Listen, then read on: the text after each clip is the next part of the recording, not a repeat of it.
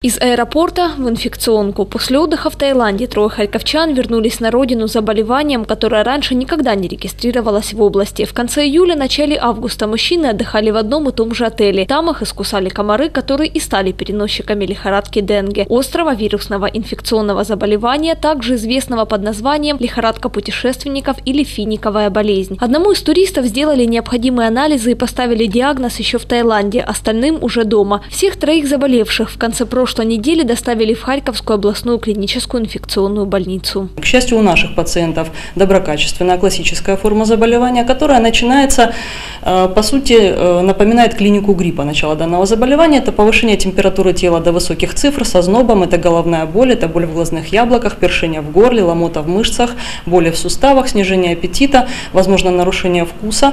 Но в отличие от гриппа, э, при данном заболевании также отмечается увеличение всех групп лимфатических узлов и со второго-третьего дня заболевания появляется обильная сыпь, что, собственно, и наблюдается у наших пациентов. Заболевание протекает в две волны. После четырех дней лихорадка отступает на одни-двое суток, затем возобновляется снова. Длится, как правило, около 10 дней. Инкубационный период составляет от 3 до 15 дней. Подхвативших болезнь поместили в специальные палаты с противомоскитными сетками. Переносчиком инфекции являются комары особого вида – айодес, укусившие больного человека или обезьян. И потом в течение трех месяцев они могут передать вирус здоровым людям людям. Несмотря на то, что для Харьковской области это первый случай такой болезни, врачи и эпидемиологи отмечают, харьковчанам ее опасаться совершенно не стоит. Э, у нас на территории Харьковской области данный вид комара не циркулирует. То есть э, приедя, э, допустим, э, те люди, которые находились на отдыхе и там заразились, э, дальше эпидемического распространения данное заболевание на территории Харьковской области не имеет, потому что у нас нет переносчика, это возбудителя. А заразиться данным заболеванием можно только находясь на отдыхе.